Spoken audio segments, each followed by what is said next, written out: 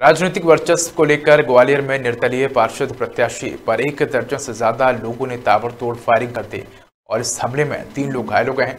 इसमें निर्दलीय पार्षद प्रत्याशी सहित उनका भाई और भतीजा शामिल है। सभी घायलों को इलाज के लिए अस्पताल में भर्ती कराया गया है। वारदात के बाद सभी हमलावर मौके से भाग निकले। सभी हमलावर एक ही परिवार के सदस्य बताए जा रहे हैं। वहीं खबर है कि एक हमलावर से स्थानीय लोगों ने पिस्टल भी छीनी है और पुलिस को सौंप दी है। तो ग्वालियर थाना क्षेत्र के रमटापुरा में रहने वाले पंजाब यादव ने नगरीय निकाय चुनाव में वार्ड 14 से निर्दलीय पार्षद प्रत्याशी पद पर चुनाव लड़ा था और हार गए थे। आज सुबह पंजाब टहलने निकला था, तभी पड़ोस रहने वाले रजनीश शर्मा ने हथियारों से लैस होकर एक दर्जन से ज़्यादा लोगों के साथ मिलकर पंजाब पर ताबड़तोड़ फायरिंग कर दी। इस बीच पंजाब पर फायरिंग होती देख छोटा भाई राम लखन और भतीजा गिरिराज भी मौके पर पहुँच गए। पंजाब को बचाने का प्रयास किया, लेकिन सभी फायरिंग का शिकार हो गए।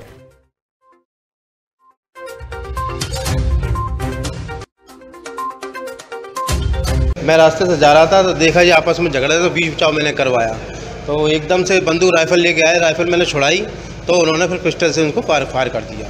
फिर लोग और वहाँ पिस्टल छुड़ा ली कारण तो जी मुझे भी नहीं मालूम किस बारे में तो एकदम ने हमला बोल दिया, हमला देख के मैं भी चौंक गया, क्या क्या हुआ।